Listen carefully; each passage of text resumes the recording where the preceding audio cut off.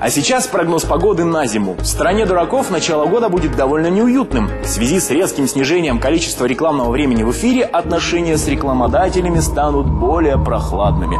На отдельных каналах ожидается даже заморозка рекламных бюджетов. Зато на территории губернии климат по-прежнему благоприятен для бизнеса. По прогнозам ученых, горячие скидки и предложения губернии могут вызвать массовую миграцию разумных рекламодателей, которые привыкли считать свои деньги. Хорошего дня. С вами был Евгений Лилинурм. И помните, кто платит, тот и заказывает погоду.